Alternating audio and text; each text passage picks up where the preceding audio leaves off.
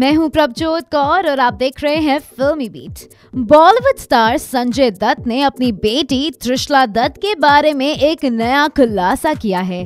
असल में संजय ने त्रिशला की ख्वाहिशों और अपने इच्छाओं के बारे में बताया है कि त्रिशला शुरू से ही एक्ट्रेस बनना चाहती थी, लेकिन संजय ऐसा नहीं चाहते थे।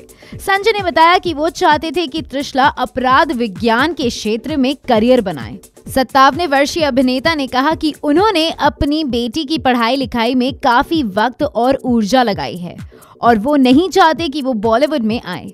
संजय ने कहा, मैंने उसे अच्छे कॉलेज में पहुँचाने में काफ़ी वक्त और ऊर्जा लगाई और उसने भी अच्छा प्रदर्शन किया। उसे अपराध विज्ञान में महारत है। मैं सोचता हूँ कि ये करने के लिए बहुत बड़ी चीज़ है।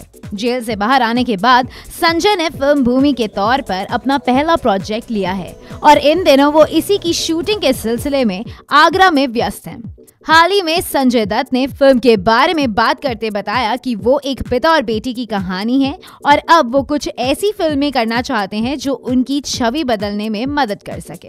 एक प्रेस कॉन्फ्रेंस के दौरान संजय दत्त से पूछा कि फ़िल्म एक पिता और बेटी के बारे में है तो एक ऐसी बात बताएँ जो फ़िल्म में उनकी बेटी का किरदार कर रही अदिति राव हायदरी के रोल और उनकी बेटी में एक सी हैं। इस पर संजय दत्त ने शांत भाव से कहा, यदि त्रिशला ने एक्टिंग चूज़ की होती तो मैं उसकी टांगे तोड़ देता। लेकिन अदिति के साथ मैं ऐसा नहीं कर रहा।